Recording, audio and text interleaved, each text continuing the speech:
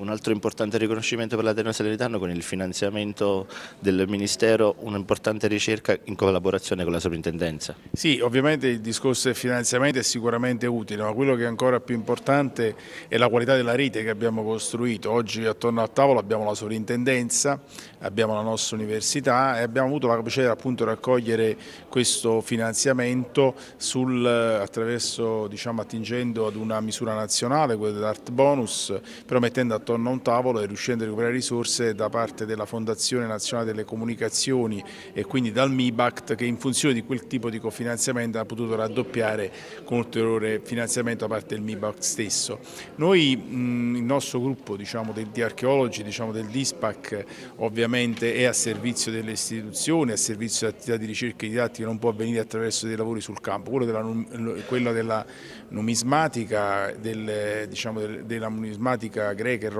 e quindi del, della cattedra eh, affidata alla professoressa diciamo, Cantilena, al collega Pardini, insomma e ha creato all'interno del DISPAC tutta una eh, serie diciamo, di attività sviluppate insieme alla sovrintendenza. Io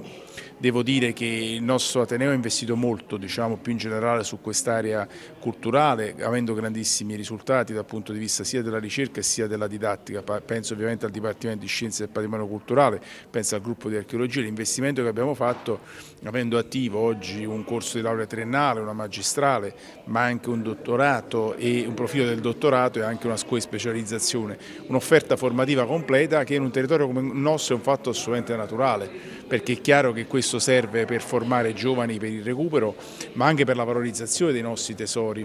e che sono in parte diciamo, sono già visibili ma in gran parte sono ancora nascosti. Allora ecco, questo è lo spirito di collaborazione che caratterizza il nostro Ateneo, questo è, che parte innanzitutto dall'attività diciamo, di ricerca come fattore poi decisivo anche per la formazione delle future generazioni.